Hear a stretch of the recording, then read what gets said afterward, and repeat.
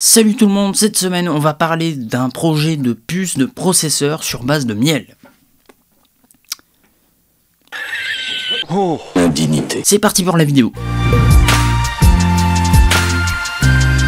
Non, non, j'ai pas fumé la moquette, je vous rassure, le tapis de souris il est bien toujours là et en entier, il en manque pas un morceau, j'ai pas commencé à le fumer. C'est des recherches qui sont menées en ce moment par l'Université d'État de Washington DC, donc aux States, hein, parce que nous en France, non, laisse tomber, c'est bon, on n'a déjà pas réussi à développer un vaccin fiable contre la Covid-19. Laissez-nous, laissez-nous rêver, laissez-nous, laissez-nous. Et c'est des recherches sur les puces neuromorphiques. Alors, qu'est-ce que c'est les puces neuromorphiques? Eh bien, neuromorphiques, neuro, neurones, ah, on commence à saisir l'idée, c'est bien, vous êtes fin, vous êtes fin. Ça serait tout simplement des puces capables de reproduire le fonctionnement d'un cerveau humain. Alors, on arrive déjà à le faire dans les recherches qu'on fait en ce moment avec des processeurs plus classiques. Le truc, c'est que ça consomme une quantité d'énergie folle. En tout cas, à chaque fois, plus on veut que ce soit performant et plus ça consomme de l'énergie. Et déjà de base, ça en consomme énormément. Et donc, ça serait capable de reproduire dans la logique de réflexion le fonctionnement d'un cerveau humain grâce à ce qu'on appelle des memory stores. Et c'est eux, en fait, la base du truc parce que ces memory stores, c'est comparable aux synapses d'un cerveau humain. Bon courage pour ceux qui n'ont pas fait biologie en, LV2.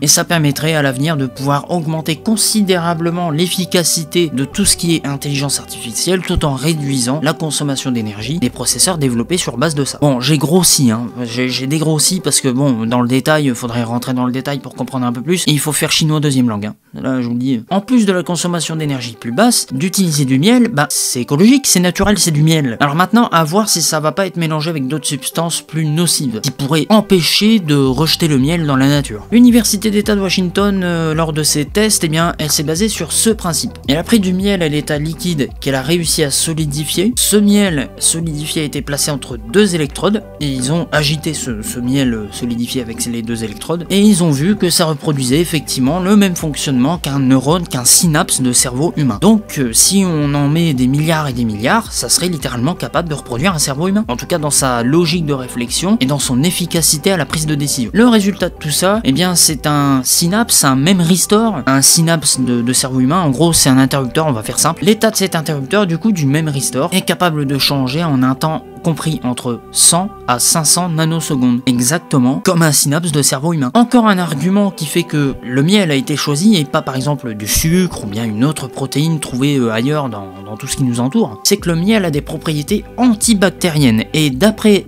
Feng Zhao, c'est lui là qui doit être de cette même université, ça permettrait de donner des puces neuromorphiques qui seraient extrêmement fiables dans le temps en plus. Et comme je le disais un petit peu au-dessus, si ce miel n'est pas mélangé avec des substances nocives, bah une fois terminé, le miel tu le liquéfies, tu t'en débarrasses, c'est naturel. Bon pour l'instant, tout ça, ça en est qu'au stade de recherche. C'est pas demain après-midi qu'on va avoir une puce a17 Bionic dans ton iPhone basé sur du miel. Hein. C'est moi qui te le dis, frérot. Hein. Pour moi, va quand même falloir attendre, je dirais, euh, au minimum, au bas mot, mais des dizaines et des dizaines d'années pour que vraiment on voit un jour arriver des, processeurs, en fait, littéralement basés sur ça. Et encore, si ça prend, techniquement. Si on se rend compte que, ouais, ouais, vraiment, c'est.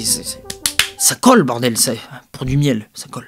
Ah, ah, ah, ah, mais appelez-moi Jean-Pierre, putain, je sais pas pourquoi Jean-Pierre, mais Jean-Pierre quand même, oh là là, c'est incroyable. C'est honteux Il reste encore énormément de contraintes techniques, notamment pour ces fameux memory stores, les synapses en fait, qui sont créés par le miel, qui aujourd'hui font encore la taille d'un cheveu humain. Le but, c'est de pouvoir les rendre jusqu'à mille fois plus petits, pour pouvoir les regrouper par milliards et dizaines de milliards, pour en faire un processeur. Et du coup, un processeur vachement efficace sur la réflexion neuronale, et qui consommerait pas beaucoup d'énergie, pour ces fameuses puces neuromorphiques. Là, le processeur A15 bionique derrière, il peut se ranger. Hein.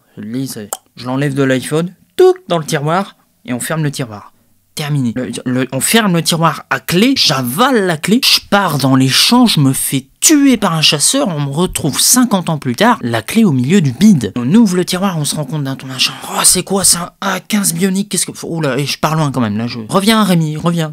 Allez, si cette petite vidéo t'a plu, tu y laisses un petit pouce en l'air juste en dessous. Tu t'abonnes également à cette jeune chaîne YouTube en activant la cloche des notifications juste en dessous. Une vidéo toutes les semaines à 18h le jeudi. Dans tous les cas, c'est terminé pour cette vidéo. Il y a également les réseaux sociaux de la chaîne Facebook, Instagram et Twitter que tu vois juste ici, à officiel sur tous, et ils sont également dans la description. Voilà, c'est tout pour cette semaine. On se retrouve la semaine prochaine si tout va bien. C'était Rémi.